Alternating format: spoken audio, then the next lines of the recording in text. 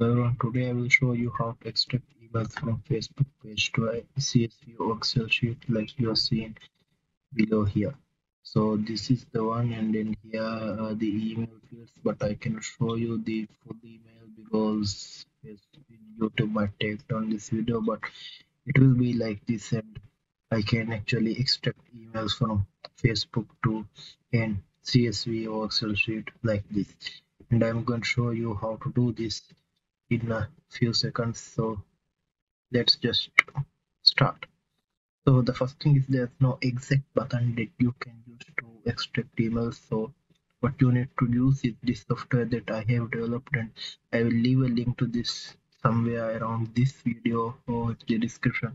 And you can see once this loads in here you can see first option is to start the software and second option is to update Facebook credential. If you want update Facebook credential, that is only if you want to automate the login process.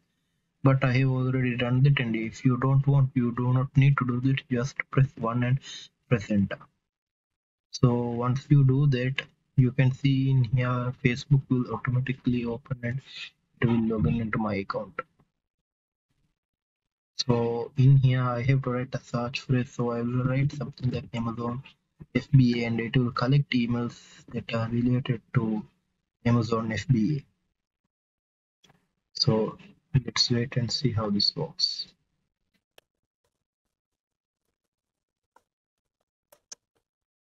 First, it will actually search for Amazon FBA and grab the pages that are related to Amazon FBA and later that only it will try to extract email. So let's just wait and see.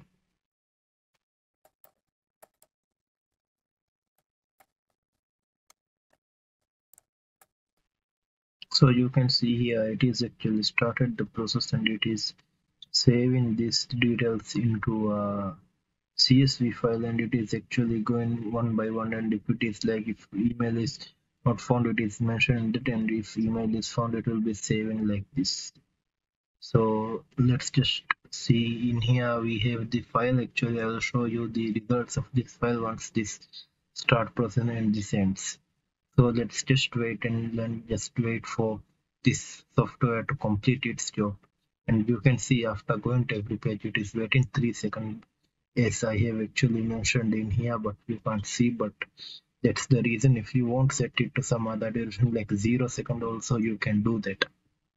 So in here let's just wait and see how this software works and how it extracts here